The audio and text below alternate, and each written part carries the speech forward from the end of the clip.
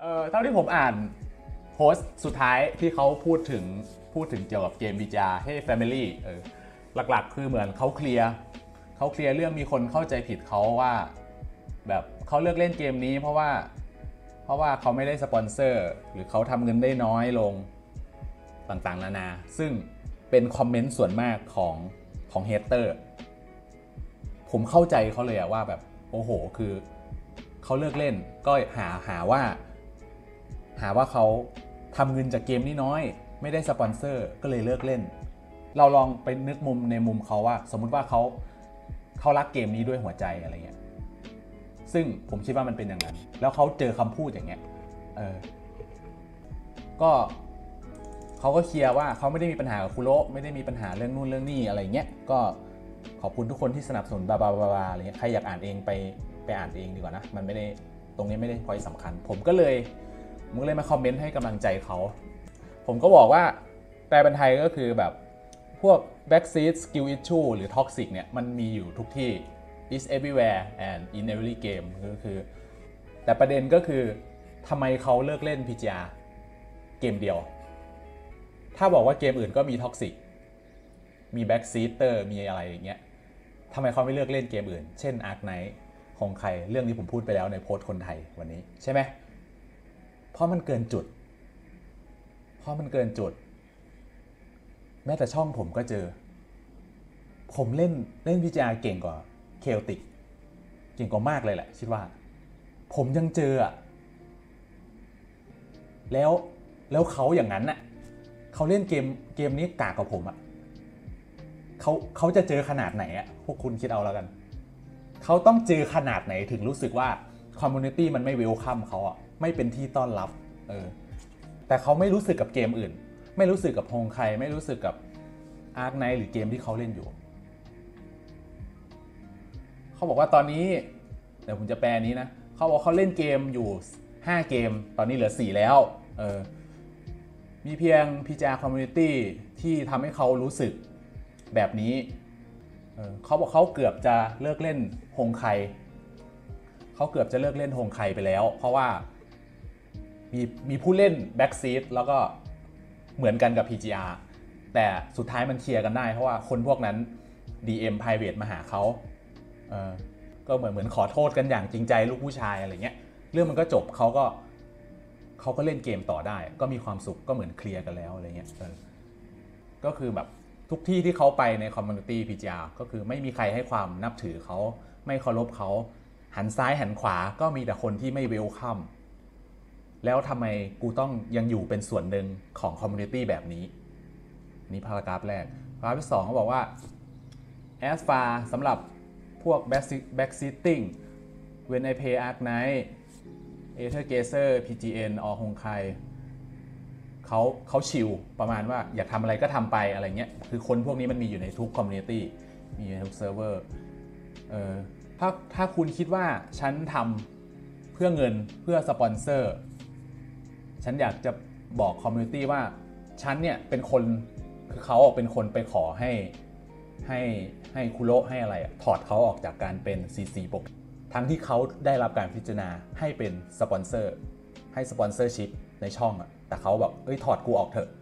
นี่เท่าที่ผมแปลได้มั้งประมาณเนี้ยเพราะว่าเงินเงินเปลี่ยนเปลี่ยนความคิดเขาไม่ได้อะผมเหมือนกันคือเงินซื้อผมไม่ได้ ถ้าไม่มากพอ กูรอเล่นมุกนี้นานแล้วเออก็แบบเขาไม่มีปัญหาเรื่องการมาล้อกันเรื่องสกิล i ิช e หรือพูดชิดที่หยาบคายอะไรใส่เขาอะไรเงี้ยแต่เมื่อเจอกับการวิพากษ์วิจารณ์ การกลด่ามากระดับนี้ เขารู้สึกแบบกูกูยินดีที่จะที่จะออกไปที่จะก้าวเดินต่อไปแบบ I'm cool with moving on อะไรเงี้ยเออ The community has you ก็คือ community มีผม มีคอนเทนต์ครีเตอร์คนอื่นๆนะก็คือคนผู้เล่นสายแคชชวลแบบฉันไม่เป็นที่ต้องการหรอก ประโยคนี้มันแซดมากเลยเว้ย ผมอ่านแล้วผมแซดกับ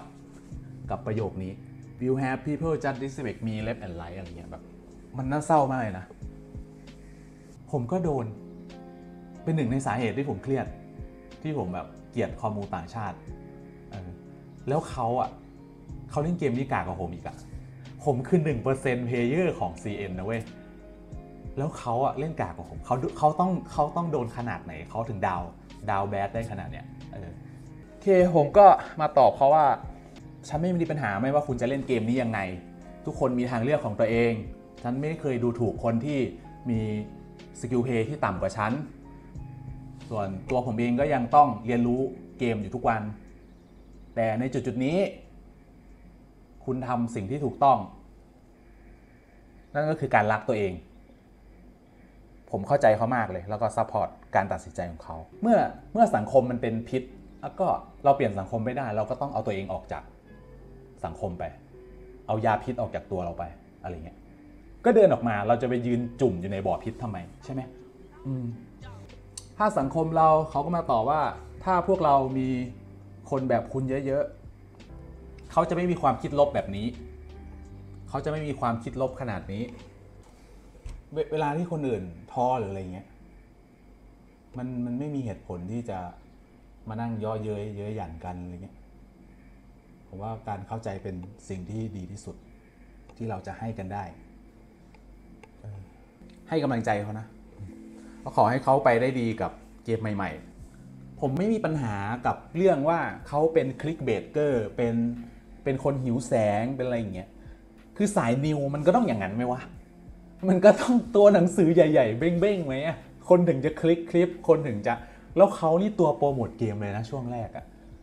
เออเขาดึงเกมคนมามารู้จักเกมเยอะนะผมว่าคลิกเบเกอร์มันแม่งมีทุกเกม ไปเกมไหนก็มียิ่งคอมมูใหญ่ ยิ่งคลิกใหญ่เล่นใหญ่ โดยส่วนตัวคุยด้วยผิวเผิน ก็คิดว่าเป็นคนดีคนหนึ่งไม่ใช่ไม่ใช่คนมีพิษสงพิษภัยอะไร เราว่าเฮียเคอติกทนจนฟางเส้นสุดท้ายมันขาดไปแล้วค่ะ ใช่ครับ คือทุกเกมมันต้องทนหมดเว้ยทุกเกมมันมีคนแย่หมด มีคนระยำตำบอลหมดเว้ยแต่เกมอื่นเราทนได้ไงมองข้ามเลือกที่จะไม่อันนี้อะไรเงี้ยแต่กับเกมเคี้ยเนี้ยมันมันต้องทนขนาดไหนอะเออ ก็คอมมูคนไทยให้การต้อนรับดี ผมยังเล่นเกมนี้อยู่ได้เพราะคนไทยล้วนๆลึกๆแล้วก็คือเรายังรักเกม เราสนุกกับเกม แต่เราไม่มีความสุขกับคอมมู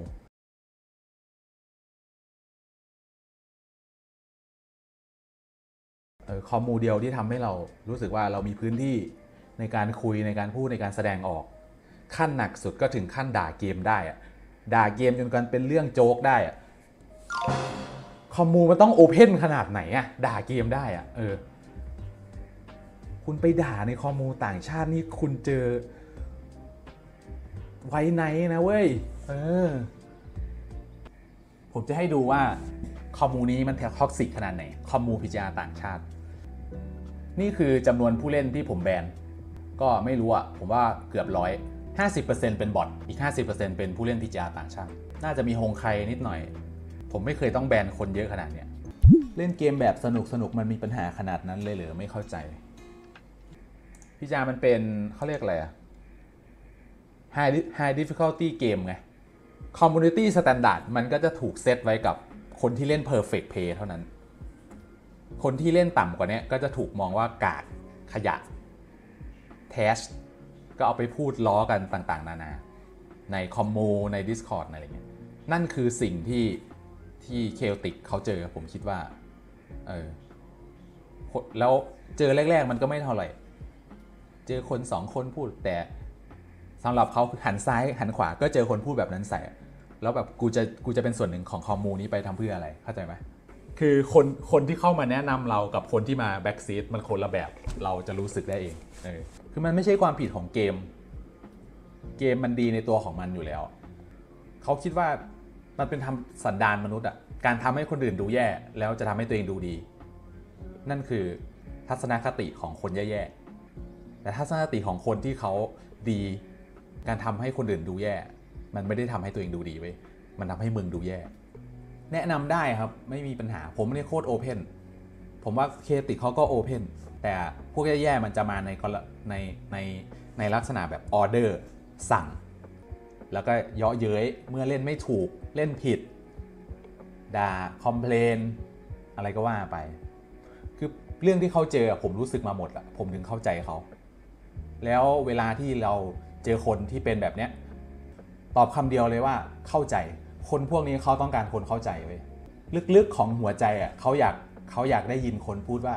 ฉันเข้าใจคุณนะ และก็อยากให้คุณอยู่กับเกมนี้ต่อ เขาอยากอยู่เว้ยหัวใจของเขาเขาอยากอยู่ แต่เมื่อคอมมูนิตี้มันไม่ต้อนรับเขาก็ต้องไป อยากให้คุณอยู่กับเกมนี้ต่อ ฉันยังอยากดูคุณ นั่นคือสิ่งที่เขาอยากได้ยิน